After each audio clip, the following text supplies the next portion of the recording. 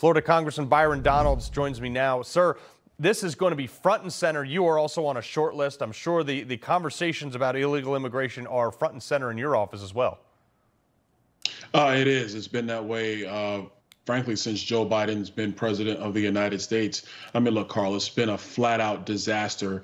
It doesn't have to be this way. And I'm glad you played that 2005 clip of then Senator Barack Obama because it demonstrates how far and how radical Joe Biden and the Democrat Party have gone since that time. It was Barack Obama who got very left wing when it came to border security. Joe Biden, obviously, very left wing. But it is every Democrat that supports the radicalism that is invading our country.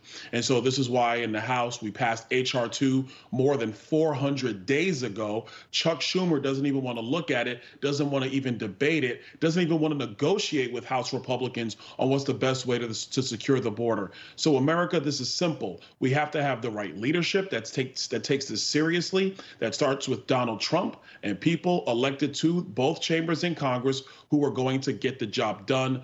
Unfortunately, in our politics today, the only party that's taking this seriously is the Republican Party. The Democrat Party, frankly, does not care. They are kowtowing to the liberal elites in, in San Francisco and in Manhattan. They mm-hmm. do not care about what's happening in America. Yeah, well, see, you know, obviously you're on the short list for VP. We've seen. Um, I'm not going to ask you to reveal anything or not.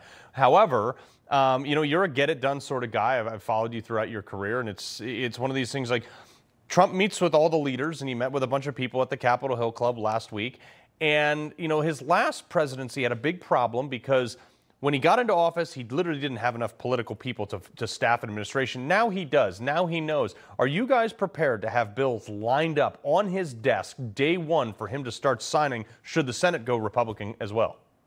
Uh, we we will be ready for that, and this is something I've been advising the leadership on for months now. We got to get ready. There cannot be another situation where everybody's too busy taking pictures with their with their gavels and at the White House instead of getting the job done. Uh, look, Carl, I'll tell you, when I got into politics, I told my district, you basically got about 10 years out of me. That's it, and then I'm going home because we don't have time for people to sit around and be applauded.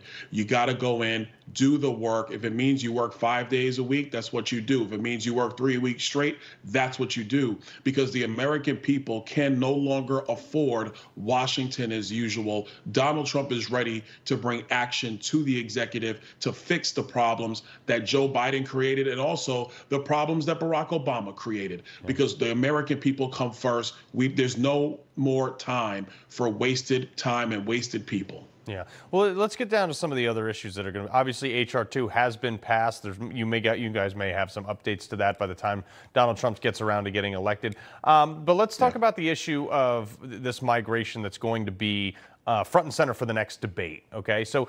What is Joe Biden going to like? What's his talking point here to say that he's had some success story here? Because the administration is saying, "Oh, like don't believe this. It's not that bad."